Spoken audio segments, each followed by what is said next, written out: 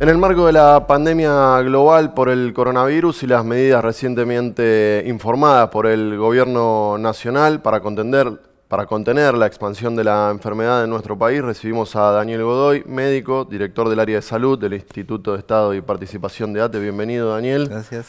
Bueno, primero lo último, ¿qué estás viendo de estas medidas que anunció el presidente Alberto Fernández? Estarían por anunciar otras medidas complementarias, pero ¿cuál es el análisis que hacen desde desde la salud de, esta batería de anuncios? Eh, nos parece que son muy adecuadas a la, situación. Eh, digamos, habría que, hacer una pequeña reseña de cómo la información eh, oficial y legitimada está, está interpretando esta fase de la enfermedad o la enfermedad en esta fase, digamos. Hoy estamos en una pandemia eh, de alta contagiosidad eh, y baja letalidad, por decirlo de alguna manera, con, una, con una geografía bastante definida en el norte-sur, digamos, eh, y con dos epicentros nuevos en Europa, como son Italia y, España. estamos asistiendo a un evento epidemiológico nuevo, eh, con un comportamiento viral eh, en términos particulares y en términos de comportamiento general eh, sobre la que estamos aprendiendo.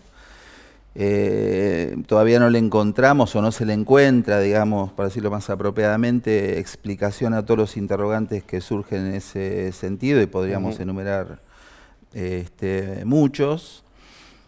Em, el tema de los niños, el tema de disparidad frontera de por medio de países con distintas eh, repercusiones sanitarias, eh, distintas tasas de letalidad. Pero sí estamos eh, con esta enfermedad nueva o, con este serotipo, digamos, de coronavirus que está diseminándose.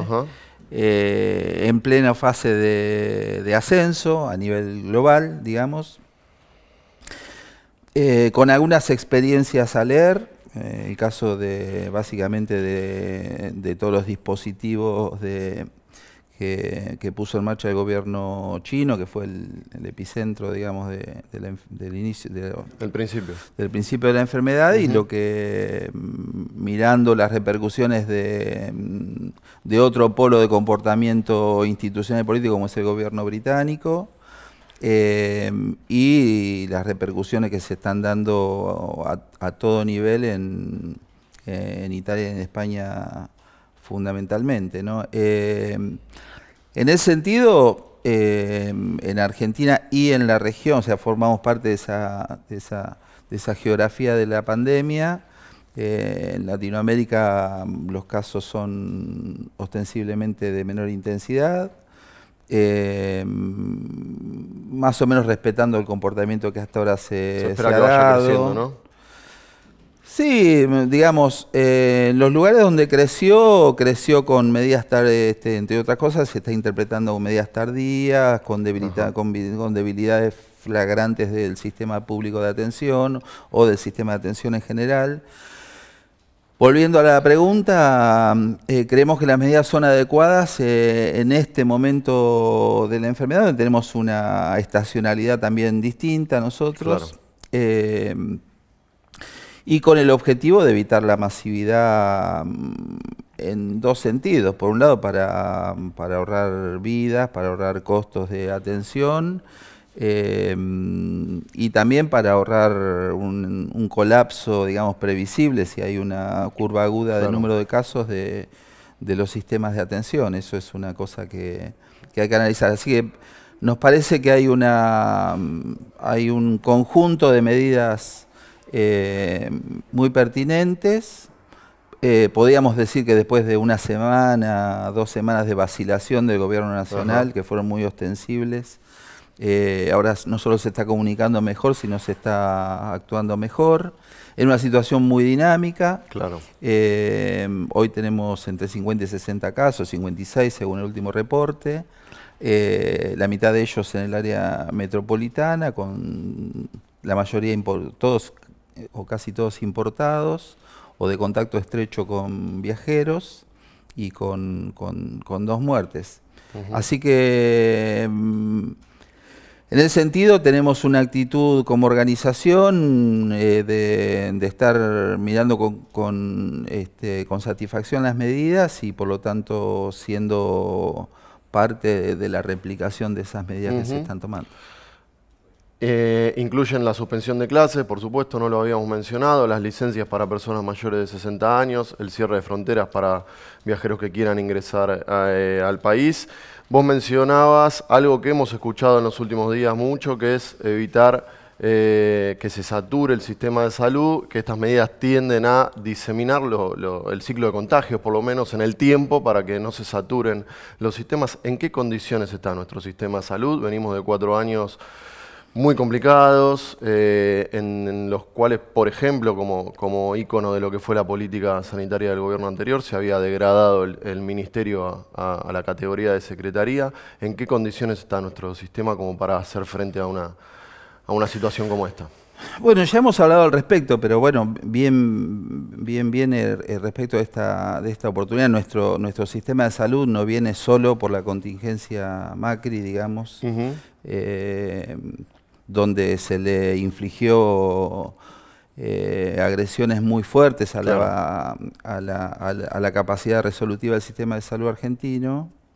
Si no, venimos con algunas cuestiones estructurales, la fragmentación, la brecha entre provincias, provincias con mejor capacidad de respuesta, eh, el sector público y el resto de los subsectores disociados, mucha precarización laboral, planteles eh, incompletos, capacidad instalada obsoleta y o desactualizada, eh, estructuras edilicias fuertemente eh, en dificultad. O sea, tenemos una situación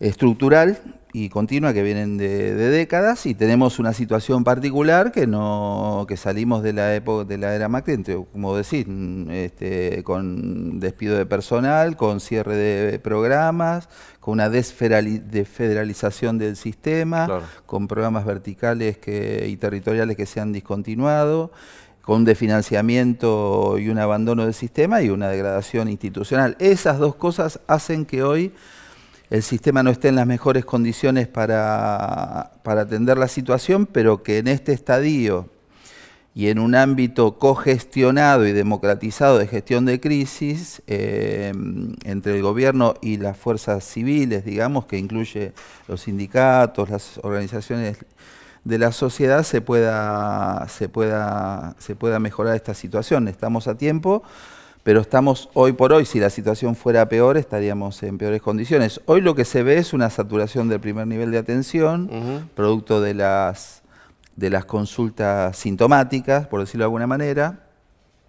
Lo que se está dando en otros países es una saturación del tercer nivel de atención, de la capacidad instalada para ventilación asistida, y demás, ¿no? Se están tomando medidas para organizar mm, este, la demanda y las consultas institucionales, se puso en marcha teléfonos em, para, consulta telefónica, esto no dio todos los resultados y ahora se está organizando más eh, andariveles de funcionamiento hospitalario mm, diferencial para febriles y asintomáticos con el resto de la sociedad. Em, Así que bueno, me parece que estamos en un buen momento. Hoy tenemos una convocatoria a la tarde del Gobierno Nacional, donde empezamos a plantear algunas de las, algunas de las cosas que a nosotros nos parece que hace falta para eficientizar la capacidad de respuesta del sistema.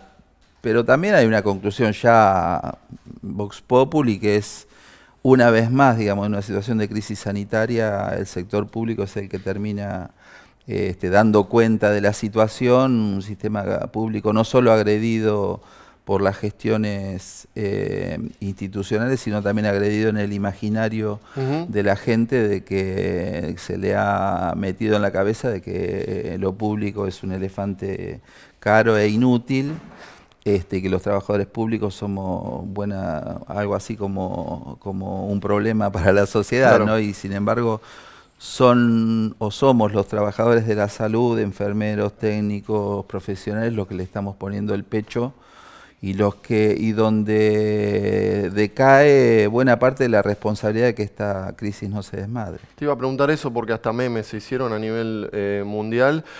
Si algo eh, cuando termine toda esta situación, o por lo menos la etapa más compleja de toda esta situación, si algo va a quedar en claro es la importancia del Estado para contener este tipo de contingencias, ¿no?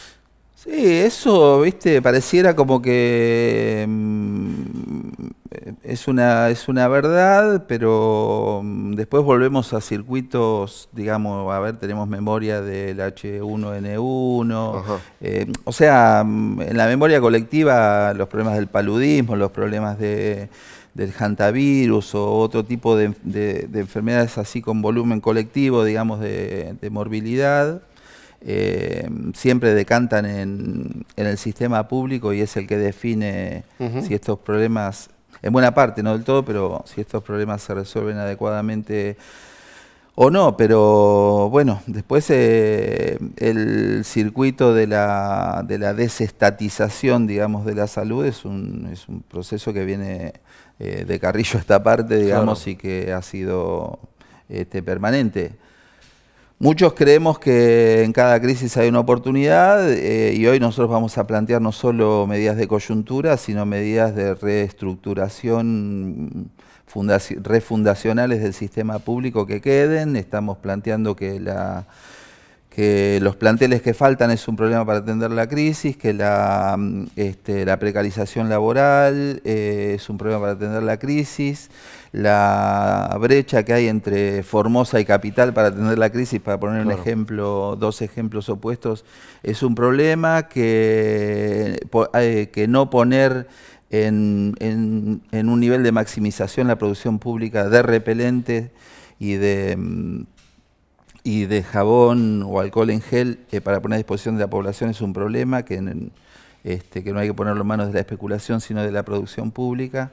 En fin, eh, a raíz de la crisis el planteo es eh, no solo entender esto del sistema público, sino la posibilidad de, ponerlo de pie eh, y dejar algunas líneas anotadas para cuando esto pase, debatirlas con un sentido de oportunidad y de, y de honestidad política. ¿Las prepagas están jugando de alguna manera particular en esto?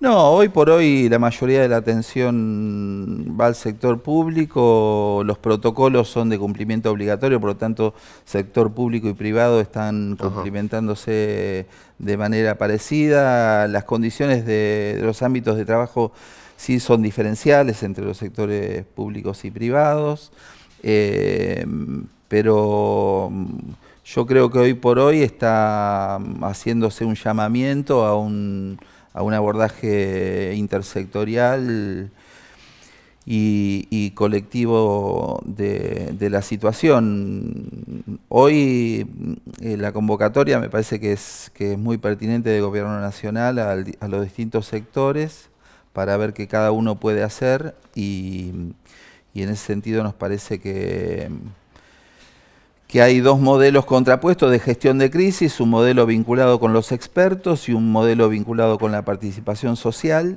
y la democratización de la gestión de la crisis. Y nosotros vamos a pedir hoy eh, no, da, no, atender tanto la recomendación este, de los expertos, sino también escuchar eh, la voz de las organizaciones sociales y, la operacionalización, digamos, de, de las recomendaciones, de los cuidados y de cortar el circuito de, contagiosidad a través de, las distintas formas de organización social, como son los sindicatos, los clubes este, y, otras, formas. Vos lo decías antes, es eh, un problema muy dinámico que va eh, moviéndose minuto a minuto. Hasta hace algunas semanas lo que escuchábamos mayormente era que el dengue y el sarampión eran problemas más graves. Eh, en nuestro país, por lo menos. Hoy parece que eso eh, va, va, ganando lugar, esta, esta, esta, enfermedad, este tipo de, eh, de, virus, y parece que hay que prestar atención más que nada principalmente a esto, o estas, o estas otras dos enfermedades también siguen siendo un foco de atención importante. No, no, no. nosotros el planteo que hacemos es que la crisis eh, sanitaria que hay en la Argentina incluye dengue, sarampión y, corona, y, una eventual amplificación del fenómeno coronavirus. Eh, si estudiáramos los números, los niveles de contagiosidad, incluso las tasas de letalidad, podríamos hacer comparaciones que, a mí me parecen inconducentes en tanto puedan generarse dilemas hacia el interior de, de la interpretación sanitaria. Yo creo que hoy todo eso convive en un solo marco de, crisis sanitaria. Eh, en el NEA y, acá en el área metropolitana el, caso del dengue es un problema muy, muy severo.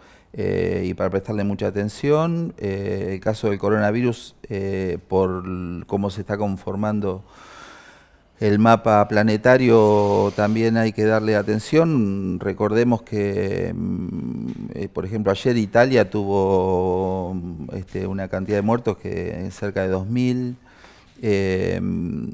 y hay otros casos que no hay que, que olvidarse, como, bueno, como es el drama de, de la pobreza y sus consecuencias, las infecciones respiratorias estacionales y el sarampión como una reposición, sí, de, la última fase neoliberal donde hace décadas que no teníamos sarampión y ahora este, con, un, con, una, con, un, con un retraso de los niveles de cobertura de vacunas y la disponibilidad de vacunas, se ha repuesto esto como una enfermedad eh, que está volviendo a aparecer en escena. ¿no? Así que yo lo que creo es que no hay que hacer interpretaciones de, tipo de dilemas. Eh, este, no, acá de lo que se mueren los chicos son de. Bueno, también se mueren, digamos, hay que. Y hay que en todo caso inaugurar una nueva, un nuevo momento de, este, de, digamos, de fortalecimiento del sistema de atención, eh, de gestión participada con las fuerzas sociales eh, de reducir las asimetrías entre las provincias, de refundar un sistema este, más federal y universalista eh, y de poner en su máximo nivel la potencia del sistema público para, para que pivotee sobre, sobre los abordajes sanitarios eh, que se vayan presentando. Esta es la postura que le van a, llevar al, gobierno hoy como, sindicato, que también eh, han tomado eh, medidas hacia adentro, puertas adentro del gremio, ¿no? Sí, ahí hay dos situaciones. Por un lado, nosotros eh, tenemos una responsabilidad, el sindicato pasa mucha gente y trabaja mucha gente, y por lo tanto tenemos ahí una responsabilidad en, la, en, el eslabón de replicabilidad de, de la situación, por lo tanto hay medidas de, control sobre preventivo, ¿no? sobre los compañeros y compañeras trabajadores y trabajadoras para, para cuidar su salud, digamos. Y por otro lado, para facilitar el rol social que los compañeros y compañeras tienen en sus casas, en su este, se suspenden las clases y hay que cuidar a los chicos y a las chicas y, entonces hay que facilitar de que puedan este, eh, no concurrir al trabajo. Entonces, cuidar la salud, este, eh, vernos como, como un, ámbito de la sociedad que, pueda servir a que no se disemine la enfermedad y facilitar que, los, el conjunto de compañeros y compañeras,